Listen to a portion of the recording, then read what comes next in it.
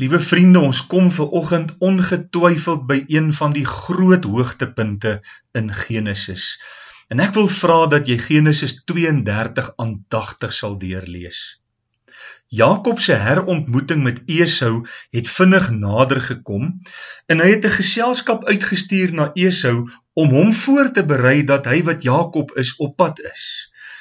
Om ook te verneem wat sy broer se gesindheid heens hom was. Lees gerus die eerste 5 verse aandagtig.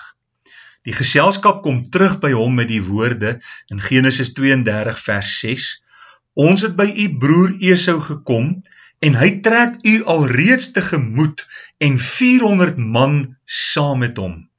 Nou dit het Jakob ontseën nie en hy het heeltemal gespanne geraak oor die situasie. Hy het begin bid en gesê: "Here, U het dan beloof dat ek niks sal oorkom nie. U het beloof U is met my." En nou is Esau op pad met 400 man. Dis my eie woorde. Interessant om op te let hoe Jakob een oomblik ernstig bid In die volgende oomblik sy eie planne begin maak om Esau nog eens te probeer uitoorlê en te ontsnap, net in geval Esau hom dalk kwaad sou wou aandoen. Ons sien in Jakob 'n geweldige worstelstryd tussen ware geloof in God en menslike twyfel. Ons sien hoe hy sy eie planne maak. Hy deel almal wat saam met hom is met al die vee en al die besittings in twee groepe met die gedagte sou Esau miskien die eerste groep uitwis, dan kan die tweede groep ontsnap. As Jakob op hierdie oomblik tog net kon onthou wat God die nag in die droom by Bethel vir hom gesê het, dan sou hy absoluut geen vrees in hom gehad het nie. Gaan lees asseblief weer Genesis 28 vers 13 tot 15 om hierdie kosbare ontmoeting met God weer te sien. Maar Jakob se probleem en daarmee saam soveel kinders van God se probleem ook vandag is dat ons worstel soms baie ernstig om die Here werklik op sy woord te neem. Toe dit aand word, stuur Jakob sy naby familie, sy vrouens en kinders oor die Jabok rivier wat beteken hy sal leegmaak en hy bly agter aan die kant.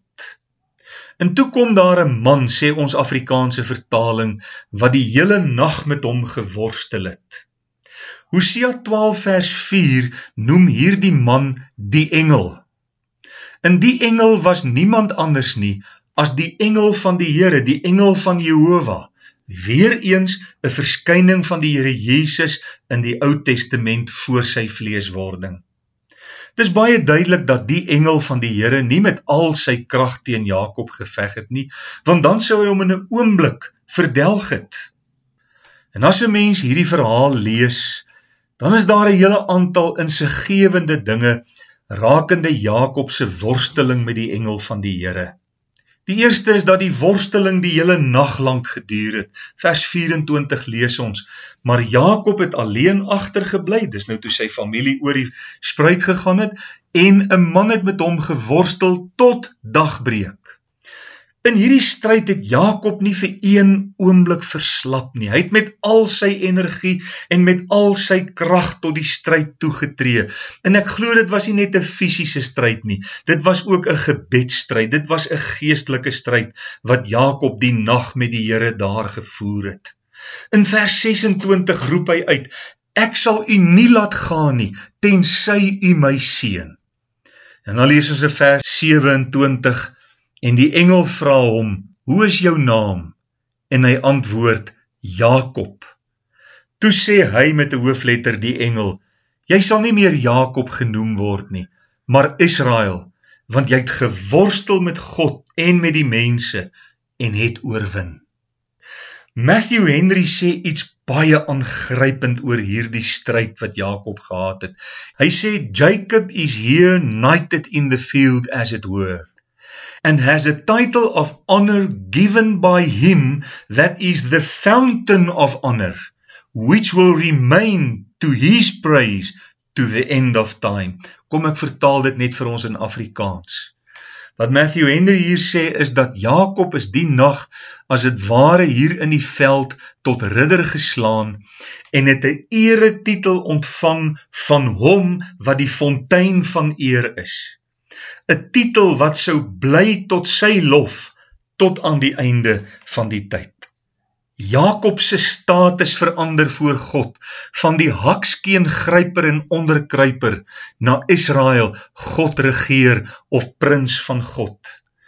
En is dit nie wat gebeur wanneer die Here in sy groot genade in 'n sondaar se lewe ingryp en jou kosbare siel red nie? Jy word bekleed met God se geregtigheid en jy word 'n kind van die Allerhoogste God. In Nederland is daar 'n pragtige lied. Ek ben 'n koninklik kind. Jy kan dit gerus op YouTube gaan soek en daarna luister. En ek wil baie graag die derde vers vir jou vry in Afrikaans vertaal. Dit is vir my jammer dat die pragtige rym verlore gaan, maar die boodskap is vir my so aangrypend. En dit is presies wat met Jakob die nag by die Jabok gebeur het. Die derde vers van hierdie lied sê ek is 'n koninklik kind nie net dienskneg of vriend. Ek is gekoop deur die bloed van my Heer. En sy bloed gee my reg meer as dienskneg te wees. Ek is God se kind en verbly my daarin. Miskien is dit ook goed om net af te sluit met die gedagte dat Jakob hierdie plek die nag Pniel genoem het wat beteken aangesig van God. Daar het hy die aangesig van God gesien en daar het Jakob se status voor God verander. Kom ons dank die Here.